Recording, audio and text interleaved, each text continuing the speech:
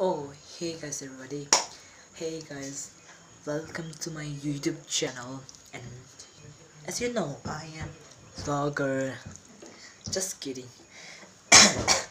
I have covering i have like sick like covering things like now.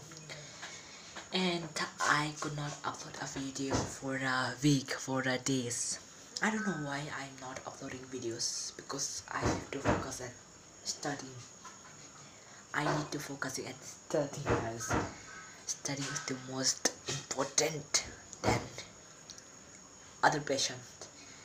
If you have not educated, you, you will not, you will not, you, you will able to not understand the English words. That's why education is important. And guys, I just turned cooking the raw egg and just here look at the raw egg I made it.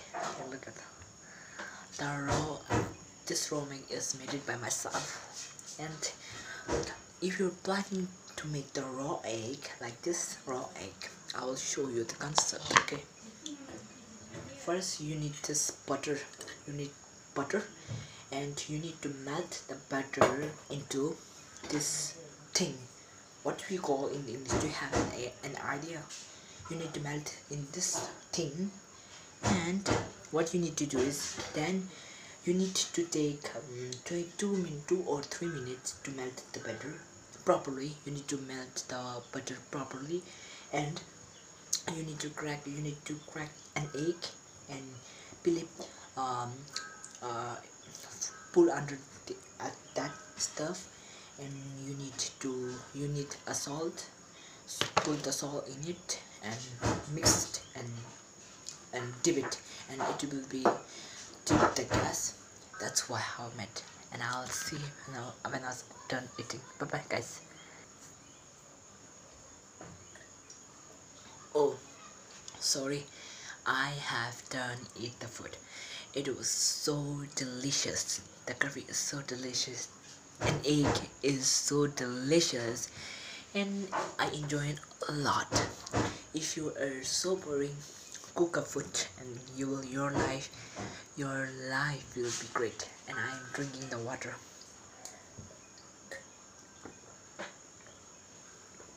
Water is the greatest to me.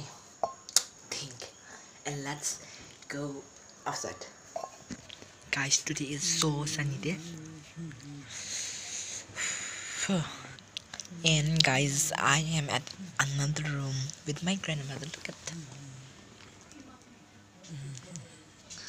She's my grandmother. I loved her as much as as much as my heart. I love my I love her so much. When I was a kid I loved to travel with her because if she's not here uh, I feel so much I I cry a lot. That is the problem when I was not as children. And I will end my video here. Bye bye